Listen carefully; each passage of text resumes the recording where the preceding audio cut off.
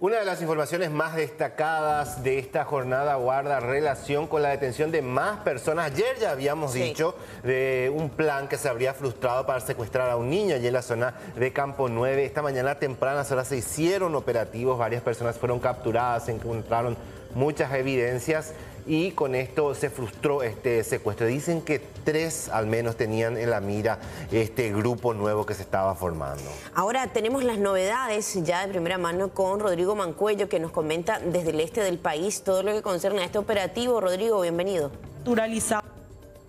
Eh, Solange, buenas tardes también para Rolando y todos los televidentes. Efectivamente, bien como lo decías Rolando, al menos tres secuestros eh, fueron eh, justamente interrumpidos, podemos decir, por la Policía Nacional y hoy se llevó a cabo sendos operativos en la zona de Campo 9 a fin de desarticular esta peligrosa banda que ya estaba planeando estos hechos de secuestros en esa zona. Dos personas fueron detenidas el día de hoy. Y bueno, ya estamos también aquí en el Departamento de Antisecuestros de la Policía Nacional, en la sede del Alto Paraná. Y bueno, el oficial eh, Edgar Galeano que estuvo encabezando también eh, todo este operativo ya se encuentra también en estos momentos. Y vamos a conversar con él con relación a estas detenciones, también incautación eh, de evidencias muy importantes que guardan relación con este intento de secuestro que ya estaban planeando este grupo criminal. Muy buenas tardes, oficial. Sí, así mismo como estabas mencionando, ¿verdad? Es, hay que comentar que el hecho en sí empezó el día viernes con la aprehensión de un ciudadano identificado como Cristian eh, Escabones, ¿verdad? Él fue aprendido en jurisdicción de la comisaría de, comisaría de Mallorquín. Fue ahí que se activó la alarma, ¿verdad? Se le dio participación eh, al Departamento de Investigaciones de Alto Paraná. Así también eh, dieron aviso a este departamento a través de las informaciones, ¿verdad? Recolectadas por eh, el Departamento de Investigaciones, ¿verdad? En conjunto con nosotros fue esto que el, día de hoy, ¿verdad? Se realizó el procedimiento de la detención de estas dos personas ya a raíz de los datos proporcionados por los distintos departamentos. se habla de que al menos tres secuestros estaban planeando estas personas, oficiales. Bueno, nosotros tenemos ciertas informaciones que por, por cuestiones ya de, de, procedimiento no queremos entrar en muchos detalles, ¿verdad? Estamos en plena etapa investigativa, corroborando datos y compartiendo con los demás colegas, pero sí tenemos conocimiento de, de, una persona en, en, particular y así también eh, otras que serían de la zona de, Campo 9. O sea que el, el, el, el, enfoque, podemos decir, de este grupo criminal que eh, se dedicaría al, secuestro sería en la zona de Campo 9, oficial. Según las informaciones que vamos recolectando, sí, ¿verdad? Ellos se centraban más en la zona ahí de Campo 9. Campo 9. Bueno, eh, aproximadamente cuántas personas estaban involucradas, ya se habla de un grupo criminal que estaría operando en, el país. Bueno, eh, lo que nosotros tenemos, ¿verdad? Hasta el momento son tres personas ya detenidas, ¿verdad? Eh, con los dos detenidos de hoy, el día viernes con Cristian Escabone, el día de hoy con eh, Celso Ariel Vera, ¿verdad? Y la otra persona de nombre Alan Hildebrand, ¿verdad? Serían tres personas, ¿verdad? Nosotros ahora lo que vamos a hacer es eh, verificar las evidencias incautadas, eso van a someterse a análisis, ¿verdad? Previa eh, autorización judicial, ¿verdad? Una vez que nosotros tengamos los datos, las extracciones de los distintos aparatos celulares, ¿verdad? Nosotros no descartamos de que existan otras personas que, que estén involucrados en el hecho. Pero hasta el momento las tres personas que nosotros tenemos eh, detenidas son los principales, eh, digamos, miembros de, de, esta estructura que, que, se está o quería instalarse en, en el lugar.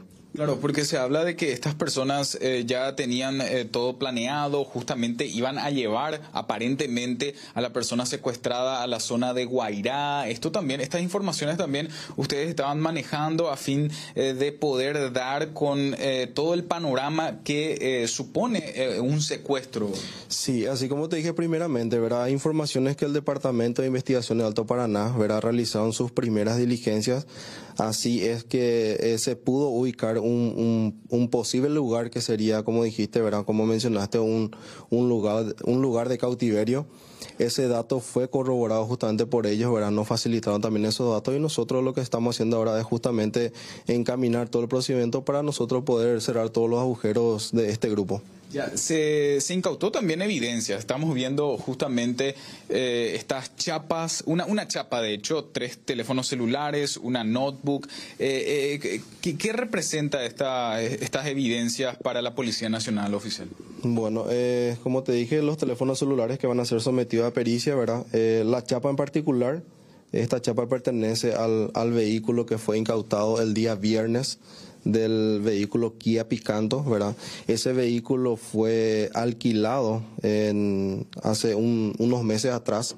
Ese dato ya fue también corroborado, se habló con la empresa que, que alquiló el vehículo, proporcionó los datos justamente arrojando también el, el dato de, de uno de los hoy detenidos, quien fue que, que alquiló ese vehículo es así que esta chapa particular se encontró en la camioneta de uno de los detenidos, ¿verdad? En la, en la camioneta que hoy en día está incautada también. O sea, e, e, este, este vehículo que tenía esta chapa iba a ser utilizado para llevar a la persona secuestrada a la zona de Guairá. Según la información que, que se compartió con, con, los, con los demás departamentos, con los distintos departamentos, es así, ¿verdad? Se iba a utilizar el vehículo y se iba a realizar un transbordo en la zona de, de Coronel Oviedo y posterior hasta la zona de Guairá. La persona que habló principalmente cuando fue detenida, en realidad, cuando la alarma que la policía recibió, hablando de la décima, facilitó también el trabajo para la policía oficial. Sí, así mismo. Como, como te dije en un comienzo, acá es, hay que descartar, o sea, destacar. Mejor dicho, el, el trabajo en conjunto de la Policía Nacional, tanto en, el área preventiva, con personal jurisdiccional y también la parte eh, la parte de investigaciones, ¿verdad? Y, nuestro departamento que realizaron un trabajo, yo creo, muy bueno y excelente y que hoy en día este es el resultado de un trabajo en equipo. Muchísimas gracias, oficial Edgar Galeano. Vamos a conversar un poco también con, lo, con las personas detenidas, compañeros y televidentes, eh, que están aquí, justamente, son dos, son dos personas. Eh, uno de ellos es Celso Ariel Vera. Celso Ariel. Bueno, Celso, comentanos un poco, ¿por, qué, ¿por qué te detuvieron a vos? ¿Vos querés decir algo? ¿Vos tuviste? ¿Ustedes intentaban un secuestro? ¿De dónde sos, Celso? ¿No querés decir nada? No, no, no querés. ¿Vos tenés antecedentes? No tenés antecedentes. Eh, ¿Y por qué te detuvieron? ¿Vos sos de Campo 9? Bueno, Celso no quiere decir nada. Vamos a intentar también preguntar a Alan, Alan Hildebrand Elías, de 23 años, muy jóvenes también, compañeros. Celso tiene 20 años, Alan tiene 23 años. Bueno, Alan, eh, vos querés decir algo, ¿por qué te detuvieron a vos? ¿Mm? ¿Vos, ¿Vos, estabas planeando con, con, esta gente un secuestro? ¿Estabas planeando un secuestro? Y, comentame un poco cómo, cómo planearon, cómo intentaron planear. ¿No querés hablar? No. ¿Eh? No. Pero admitís que, que eh, querían planear un secuestro. Sí. ¿Cuánto iban a pedir por el rescate? ¿Cómo, cómo iba a ser? ¿Eh? ¿No querés defenderte? Son muy jóvenes, muy jóvenes, eh, Rolando Solange, eh, como, como dije, Celso Ariel Vera, el que no quiso hablar, tiene 20 años, Alan Hildebrand tiene 23 años, formarían parte, como dijo el oficial Edgar Galeano, parte muy activa de esta organización, este grupo criminal que estaba operando en, el, en la zona de Campo 9 y que aparentemente estaba, estaban ya eh, intentando o planeando, podemos decir, un eh, secuestro, según lo que mencionaba también el oficial Edgar Galeano, que es el, el, uno de los encargados de este operativo antisecuestros que, bueno, afortunadamente se, eh, no se llevó a cabo finalmente. Bueno, Rodrigo, vamos a estar pendiente también de las novedades con relación a este caso. Esta mañana la, eh, todo se centró en J. Eulogio sí. Estigarrilla, donde se hicieron los procedimientos, sí. donde fueron capturadas estas personas, se incautó también una camioneta, incautaron cheques y de alguna manera con esto se logra desbaratar una banda que tenía ya la intención de hacer al menos tres secuestros. Uno estaba previsto en enero y no salió. Después eh, planeaban secuestrar a este productor y tampoco pudieron, entonces optaron por el hijo que tendría 8 o 9 años aproximadamente. Esa es la información que hoy nos confirmaba también el comisario Nimio Cardoso, jefe de antisecuestros, quien participó de este procedimiento en la zona de Campo 9. Y mencionaba también que ya invirtieron bastante en esto, cerca de 300 millones de guaraníes aproximadamente ya estaban invirtiendo para la parte logística. Imagínense cuánto iban a pedir finalmente, si esta es la inversión primaria, por decir así, para llevar a cabo sus, eh, estos hechos delictivos. Hablamos de un gran eh, operativo logístico, entre comillas, que montaban estos delincuentes, que finalmente y afortunadamente fue frustrado. Exactamente. Gracias, Rodrigo. Gracias por este completo informe. Estamos ah, pendientes de novedades allí en el este del país.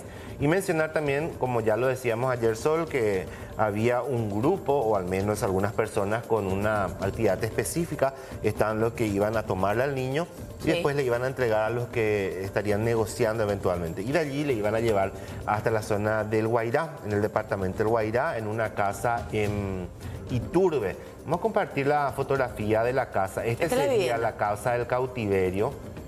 Este iba a ser la casa del cautiverio del niño. ¿Iturbe eh, queda? En Guairá. En Guairá. En Guairá, en el departamento del Guairá. o sea, distante. bastante, muy distante, porque el...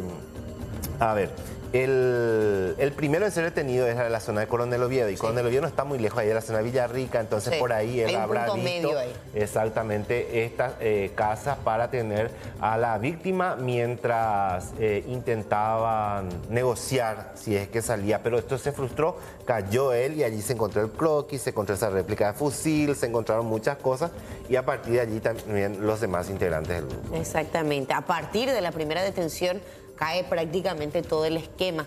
Y estas imágenes que forman parte de la investigación que seguramente fueron proveídas o fueron de alguna manera analizadas ya a partir de estas detenciones. Exactamente. Noticia destacada del día entonces, la captura de más integrantes de este grupo que planeaba al menos tres secuestros allí en la zona de Campo Nuevo.